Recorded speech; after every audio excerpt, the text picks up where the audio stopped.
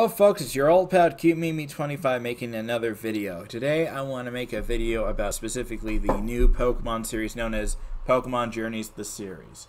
Now, first of all, I just want to set the record straight. In this video, I want to talk about um, the, uh, well, mainly the characters uh, who sh should appear in the series or something like that. This is more of a your opinion on who you think should appear sort of topic video. But before I get into that, I don't want to get into uh, my thoughts on it being on Netflix in the US because in other countries, it's on Teletoon in Canada, CITV in the UK, and uh, I think Cartoon Network in Australia, and obviously TV Tokyo in Japan. So I'm not going to get into the whole bashing on Nickelodeon, Cartoon Network, Disney Channel slash XD, or any of the stations not broadcasting Pokemon on the local stations or something like that, that will be saved for another time. But instead, what I do want to talk about is uh, the characters, specifically the main ones. You obviously have the main character, Ash, and then you got Go, who was basically uh, his male companion, who basically is in Brock's shoes or something like that. And then you have uh, Koharu, who's also known as Chloe in the U.S. I still think they should have named her Marinette or something else. If you've seen Miraculous, you'll get the inside joke. I have a love-hate relationship with the fact that she's named Chloe. Well, I think it's an okay name. It's also a name of a character from Miraculous who I really hate, so... Yeah, I'm still iffy on the name, but other than that, at least she's a much better Chloe than the one from Miraculous, is all I'm going to say.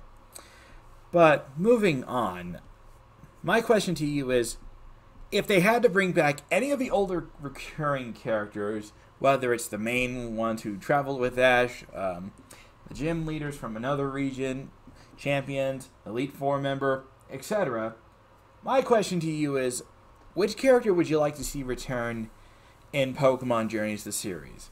Now, I will tell you so far, um, they did make a short featuring uh, Nessa and Sonia, which really uh, got my attention because in Sword and Shield, my favorite character is uh, Sonia. I really think she's a great uh, assistant for the professor in Sword and Shield. Not just for fan service, but great personality too. But let's not get into that. I want to ask you guys an honest question if they were to bring back any reoccurring character, who do you think should return? And if it's one of the older characters back before uh, 4Kids gave the rights to TPCi, who should voice that character? Like, for example, let's say you want uh, May to return in the series. Who would you want to voice her? Would you rather have Veronica Taylor voice her, or would you rather have Michele Knotz? And if you're watching this video, video Michele Knotz, I know you wrote a comment in a video I made years ago. For the record, I was not bashing on your work. I was just asking people a simple question who should voice May if she appeared in X and Y, which she never did, sadly. Instead, they gave that position to Steven. I'm pretty sure Iris is probably chasing after Steven with a baseball bat because Iris never returned for X and Y. I'm just guessing. I don't know if that's true or not, but that was just a figure of speech or a state of mind or something that came to mind, something like that. So, yeah, Iris never came back because people, not many people liked her. I don't understand why. Misty gets violent with Ash and Brock. Nobody cares. Iris calls Cilan or Ash a kid. People lose their mind. What is wrong with you guys?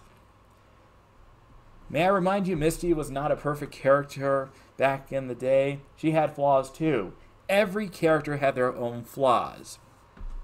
But I'm not going to get into the whole who had flaws and stuff. My question to you is who do you want to see return to the series? Would you like to see uh, any of the old companions return? Would you like to see uh, your favorite gym leader, your favorite Elite Four member, your favorite uh, trial captain, etc.? Go ahead and write in the comments and tell me your top 5 or top 10 characters who you would want to see return for Pokemon Journeys the series. There's no right or wrong answer. It's more of a what's your opinion and who you want to see appear in the anime.